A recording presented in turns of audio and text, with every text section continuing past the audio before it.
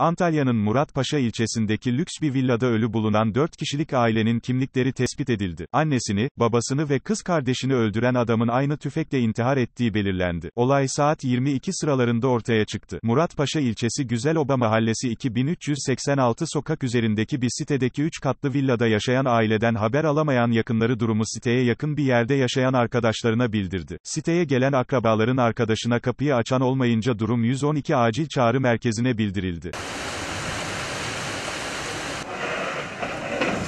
Burada tavuk alacağız ama başka bir şey yok ki.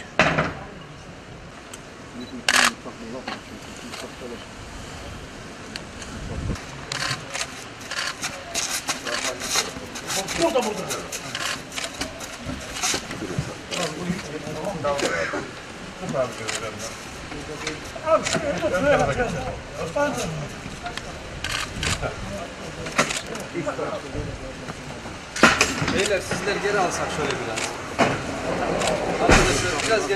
İhbarla siteye gelen polis ekipleri, girdikleri villada Gülsen Işık Gider, Muzaffer Gider, Gamze Gider ve Mustafa Gider'in cansız bedenini girişte mutfak bölümünde buldu. Olay yeri ve polis ekiplerinin yaptığı ilk incelemede 4 kişinin av tüfeğiyle vurulduğu belirlendi. İlk belirlemelere göre, ailenin erkek çocuğu Mustafa Gider'in anne ve babası ile kız kardeşini tüfekle öldürdükten sonra aynı silahla yaşamına son verdiği tahmin ediliyor. Ailenin bir yıldır bu villada yaşadığı ve anne babanın emekli olduğu öğrenildi.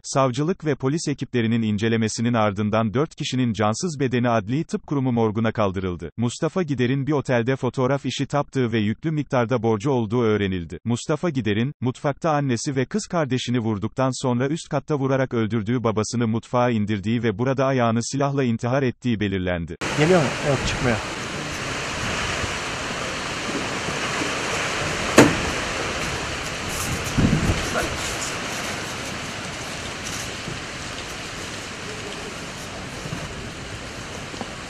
Garibim, garibim, yürümemiş.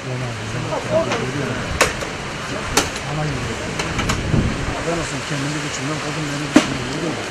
Mesela. Genelde